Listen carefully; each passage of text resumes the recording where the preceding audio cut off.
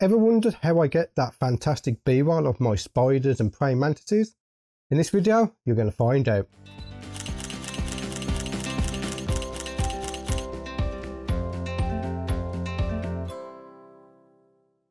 In this particular project, I'm going to show you how I capture my b-roll of my spiders and mantises for use in my YouTube videos.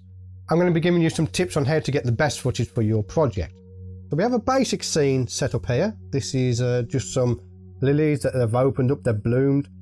We have Bungie, he's inside the flower at the moment. And what I want to do is I want to take you through a very simple B-roll technique that I do to get the B-roll of my uh, pets. In the last video I hinted how my style changes when going from photography to video.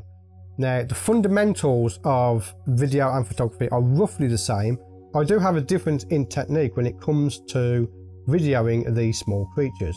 So the first difference in technique is I always use a tripod for doing my b-roll. The same as in photography, you want to get low down to your subject. So the tripod is here, it's just out of frame.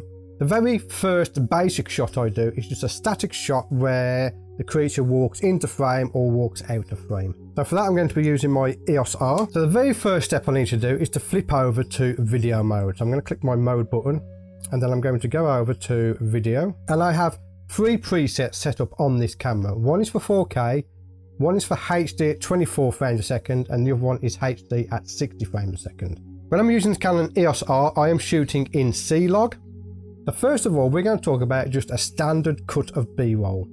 Now for that, I'm going to film in 60 frames a second. So I would recommend the highest frame rate possible for your camera. Now in this case, it is 60 frames a second. Um, I film in 24 frames a second so that I can slow down my B-roll, which is shot at 60 frames a second to 40%. For the first type of B-roll shot I'm going to show you is a static shot. The camera is locked off on the tripod. We have our spider inside the flower. It's a wide angle shot so now we have the, uh, the subject and the camera set up, we need to sort out lighting. So for the lighting, what I use is this. This is a Neewer CN304 LED light, and it's a very budget friendly light. So this goes up top here. So you can see now how that is lighting the subject, and it's slightly back backlit, okay? Very harsh light, however. Now, to fix that, I have this here. This is just tracing paper. And all I do is I put this up top here. That softens the light. Now, I haven't got it up at the moment because obviously it covers up the overhead camera. But as you can see from the B-roll I've recorded here, you can see how it softens up the light. What we want to do now, we have that set up, is we need to introduce some light from the front just to fill in the front and the shadows. So again, this is another Neewer video light. This one is the PT176S, another budget-friendly video light. Now these are powered by Sony batteries. Pop that in and I can turn it on. And I will adjust the power of these lights depending on the frame rate, okay? So let's talk about the differences between the video and the photography. In the video, my shutter speed is fixed. Now the shutter speed is double that of your frame rate. So in this case, we're shooting at 60 frames a second. So your shutter is as close as the 120th of a second as you can. On this camera, that's 125th of a second. And because of that, I can't adjust that shutter speed. So I have to adjust other parameters in order to get the correct exposure. But when we go over to the macro lens, we will need to increase our f-stop, in which case you have to increase your ISO. Now for this particular shot, we are slightly overexposed. So I'm going to use my front control ring here to adjust my aperture. And I will bring it down. We shall press record and then we will get the spider to do different things. So he's running around, moving back and forward, and we capture that footage. Once we have that footage captured, we can go into Premiere. We are on a 24p timeline. Right click on the footage, go to speed and duration. We can now type in 40% on our speed to slow it down by 40%. Of course, you don't have to slow it down. It's completely up to you from shot to shot as to what speed you use. Again, the higher frame rate, the better your outcome will be. I really wish Canon would put 120 frames a second onto their cameras. So the next step up you can do is have something like this. This is a Ronin S gimbal and I can attach my EOS R with the macro lens on it and I can control my camera very smoothly using this. Now I'm not going to cover that in this video because that's a video in its own right. So if you would like to see that video about using the Ronin S to capture uh, smooth cinematic B-roll, let me know in the comments below and I'll see if I can put one together for you. But the next step up to give a little bit more of a cinematic look to this is to be able to move your camera. Now, you can try and brave it by hand holding your camera. Again, we're at 60 frames a second. What we can do is turn it on and we can just go from left to right very slowly. So that method is very hit and miss and you can't tell from in the camera whether you've got a good shot or not. You don't know until you get back to post processing. And in most cases you haven't, but there is a solution and this is the solution. This is a Micro 2 slider from Zeapon. Now Zeapon have supplied this free of charge to me to do a review and I've been using it since December. So for this, what I want to do is take off my tripod head. Okay, so that's the head off my tripod. I'm going to put this on here. So we are now set up for our second shot. Okay, now we have the Canon 100mm macro lens on here. And I will literally just point it straight to the spider. Manual focus, I'm going to use my control ring to set it up for f7.1 and then usually I will use ISO 800 or 1600 depending on the type of shot that I'm going for. So with this setup now, we're going to point it towards Bungie. Focus. As you can see, I have focus peaking on this camera as well. And whilst there, I will just press record and we will just leave it for a few seconds to grab some static shots of Bungie while he's just sitting there on that flower. So this is where the magic comes with this slider. So now we have Bungie focused, we have him in the center of the frame.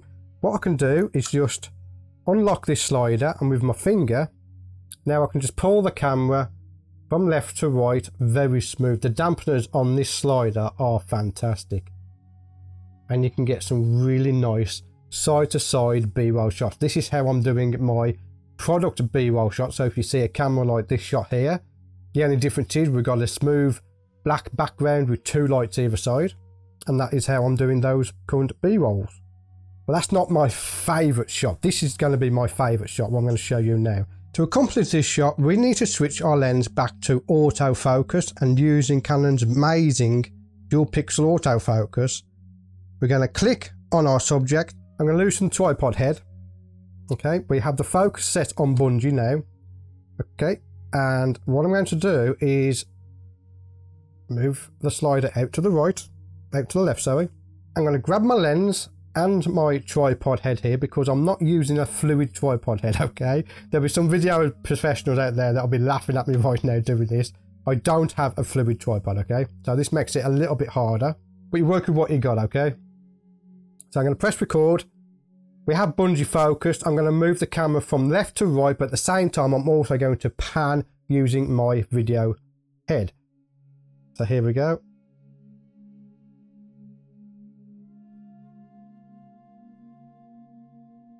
There we go. Fabulous shot. So again, we're going to go into Premiere in our 24p timeline. We're going to throw this footage onto the timeline. We're going to right click to time duration, hit 40%. Next, we're going to right click on that footage and click nest. Once we've done that, we can go into our effects, choose warp stabilizer, throw that onto the timeline, and generally I don't touch any of the settings, I just let it do its calculation. We'll pre-render and view that footage. And that just looks marvellous absolutely fantastic. I'm absolutely loving this slide at the moment. And there will be a review of this slider coming to the channel very soon, so subscribe if you're looking forward to that. So the third type of shot I like to get now is this typical shot here. So Bungie's backed off. I cannot get a really close-up shot with this current setup. Now, I can put extension tubes onto this lens. I can also use the Raynox, but I'm finding the Raynox is giving a 70s porn vibe for some reason when you're doing video. I'm not too sure why. I haven't found out why. The extension tubes reduce light and even at maximum, these lights are not powerful enough to get clean footage. And I have to emphasize clean footage. I don't like noise in my footage, okay? So this is where we will swap over to 4K. When this EOS R was released, everyone panned it because it has 4K crop. Me, I sat down and thought that would be fantastic for macro video. I'm going to take some footage now. We're not going to do a sliding move or anything. We're just going to take static shots, okay? And what happens here is you are cropped in by, I believe it's 1.7 on the sensor. So you get in that perception that you are closer to your subject. Now we've been 4K as well, so I'm now going to put this 4K footage onto my 1080p timeline and then I can zoom in, out, I can pan it around however I want I can reframe if I want to, and if I want to get as close as possible, all I got to do is just leave it at 100% on the scale. Again, with everything, patience is the best thing you can do. Just have patience, let the subject come to you, video him, and again, practice makes perfect. Practice is one of the most skillful lessons you can learn. Better than new cameras, it's better than new lenses. Practice, practice, practice. That is my tip to you. So that is how I do my three types of B-roll when talking about macro photography, just to cover up those ugly jump cuts that every other YouTuber does out there, which I find awful. I hate it. I really hate jump cuts. That's it for this video. If you have any questions, let me know in the comments below. I want to thank you for getting to the end of this particular video. And from Bungie and from me, we'll see you on the next one. My B-roll of my spiders and praying mantises, now mantises. Hello, my name's Stewart Wood and welcome to this video. In this video, I'm going to show you, I'm going to be giving you some tips on how to get the best footage for your project Again, blah, blah, blah, blah. In the last video, in the last video, I showed you how to handle, no, not show, tips, okay, tips, tip, tip, tip, okay. First of all, I hinted in the last video that uh, doing the video of these spiders and praying mantises, a difference in technique when I, when it comes to photograph I do have a different. This is a Micro 2 slider from Zippo Tech. Zippo. Now, when this EOS R was released, everyone. But for now, from me,